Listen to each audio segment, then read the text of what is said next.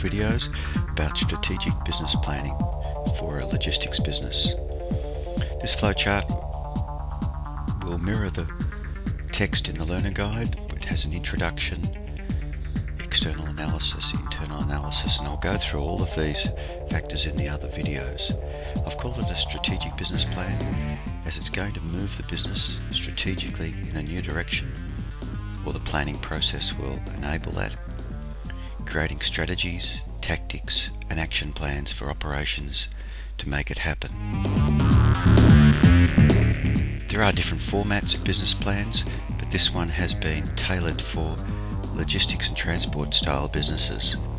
These businesses are service companies and there'll be factors in the business plan that are quite different to a product related business plan.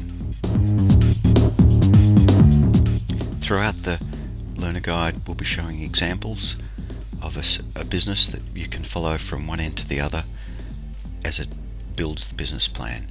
So watch the next video which will cover the overview.